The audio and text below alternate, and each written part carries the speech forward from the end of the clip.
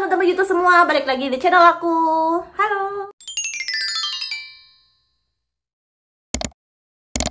Di video kali ini aku akan mencoba mereview satu produk yang baru hmm, udah lumayan lama sih ya, cuman aku baru review sekarang yaitu produk eyeshadow.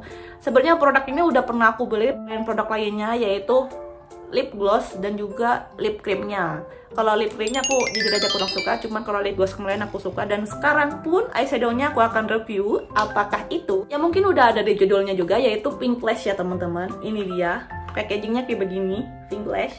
Aku beli 3 set tapi ternyata aku tadinya tuh pengen beli set yang beda-beda gitu loh tapi ternyata yang duanya aku beli varian yang RD semua yaitu agak kemerah-merahan gitu warnanya dan gue tuh nggak kira bakal sesuka ini sama si Pink Plus ini gitu loh. Ternyata si Pink Plus ini tuh bukan hanya murah dan juga isinya lumayan banyak, tapi dia juga sangat pigmented banget dan juga warnanya tuh memang keluar banget gitu loh.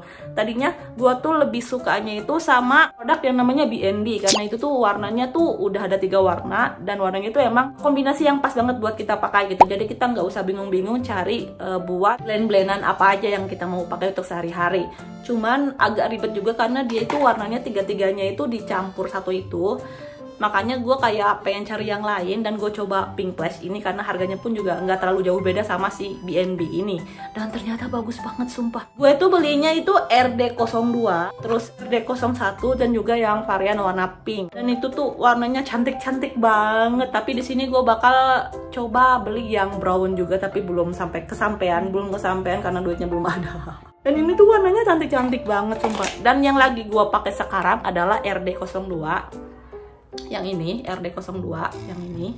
Dan ini RD01 warnanya tuh ini lebih ke agak gelap lagi dan ini lumayan agak terangan. Satu tingkat lebih terang dibandingkan RD01 dan ini warnanya kayak begini. Aku akan coba semua di video ini jadi kalian bisa coba lihat hasilnya di muka aku kayak bagaimana. Dan ini ya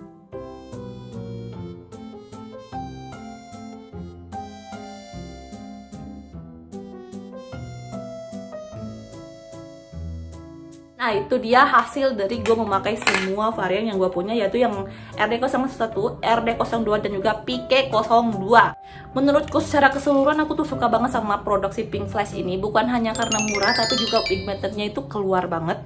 Jadi buat kalian yang baru belajar makeup ataupun kalian lagi cari eyeshadow yang warnanya bagus dan juga keluar Dan juga nggak terlalu mahal banget. Pink flash adalah pilihan yang terbaik sih lah. Soalnya warnanya tuh kombinasinya itu pas banget buat kalian pakai setiap hari gitu loh. Buat kalian yang masih bingung nih cara gradasi ataupun uh, eh, blending blendingnya kalian bisa pakai yang kayak begini gitu lah yang emang udah ada tiga warna kayak begini jadi kalian nggak bingung kalau untuk sehari-hari kalian pakai. Jadi gimana? Apa kalian tertarik untuk mencoba si pink flash eyeshadow ini ini tuh bagus banget jadi kalau kalian yang mau beli kalian tinggal klik aja link di description box kalian akan teralihkan ke tempat di mana aku beli yaitu di Shopee jadi kalian bisa langsung beli di situ Oke, okay? kalau kalian ada yang mau ditanyakan ataupun kurang jelas, silahkan aja komentar di bawah ya.